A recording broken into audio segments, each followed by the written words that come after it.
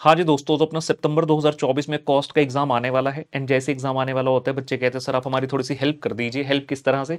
Sir, इतना सारा syllabus है, आप बता दो कि इसमें से कौन कौन से चैप्टर इस अटैम्प्ट के लिए इंपॉर्टेंट बनते हैं और कौन से नहीं बनते। वैसे तो भाई सीए का एग्ज़ाम है, सभी चैप्टर काफ़ी महत्वपूर्ण है, आप छोड़ नहीं सकते किसी भी चैप्टर को और मैं।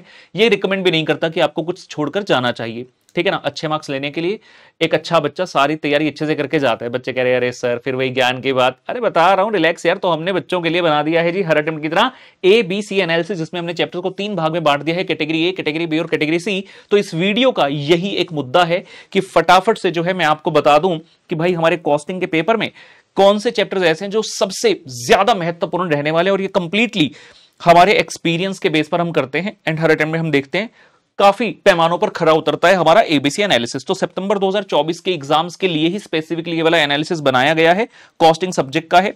कैटेगरी ए के अंदर कौन कौन से चैप्टर रहेंगे? आपका standard costing marginal costing cost sheet material overhead integral non integral और सर्विस कॉस्टिंग मेरा ऐसा अनुमान है कि एग्ज़ाम के अंदर एमसीक्यू मिलाकर 60 से 70 नंबर इन चैप्टर्स के द्वारा कवर किया जाना चाहिए।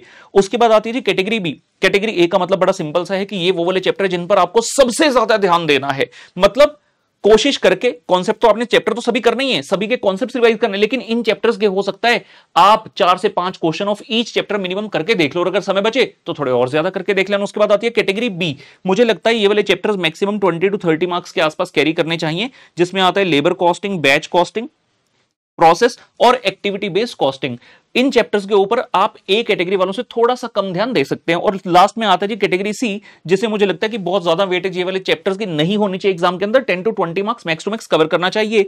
Budgetary control job costing reconciliation of cost and financial account and JPBP जो कि ज्वाइंट एंड बाय प्रोडक्ट के नाम से भी जाना जाता है। कुछ बच्चे कहेंगे, सर, एक थ्योरी का चैप्टर भी वो कहा आएगा? अरे थ्योरी का तो पता ही है ना भाई, अंतिम क्वेश्चन आता ही है।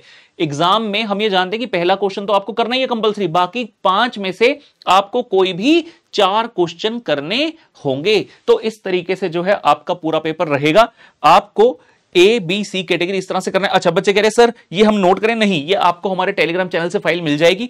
और फिर से बता दूँ this is purely based on my research and my expectation ऐसा मत करना, सर कैटेगरी सी में आपने ना 20 लिखे थे 10 से 20 सर, उसमें ना 25 नंबर का पेपर आ गया, सर, पाँच गए। अरे भाई, मैंने पेपर नहीं बनाया। लेकिन हाँ आप बच्चों की हेल्प के लिए हमें बता रहे हैं कि ये वाले क्वेश्चन ये वाले जो चैप्टर्स हैं कैटेगरी ए बी सी में इस तरह से डिवाइडेड हैं फॉर दिस अटेम्प्ट अगर आप इसके हिसाब से करके जाएँगे तो मुझे लगता है बढ़िया रहेगा, मौज लगेगी और पेपर हो जाएगा ज़बरदस्त। ठीक है जी? बाकी all the very best to all of you Mata Rani का जयकारा लगाकर जो है सेशन का अंत करेंगे। जयकारा शरीर बोल साचे दरबार की जय। वीडियो लाइक कर देना तो कमेंट सेक्शन में ज़रूर लिख जाना।